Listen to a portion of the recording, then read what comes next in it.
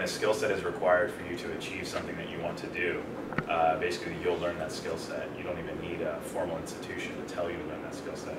So rather than being imposed upon that you need to learn how to type, you need to be shown some sort of benefit. So the school should have been showing us AOL Instant Messenger and showing us how to use email, as opposed to telling us to write business reports and learn how to type.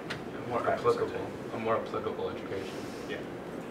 Just making it relevant to us because we see the immediate value it relative to the cost, rather than just the cost and no immediate benefit.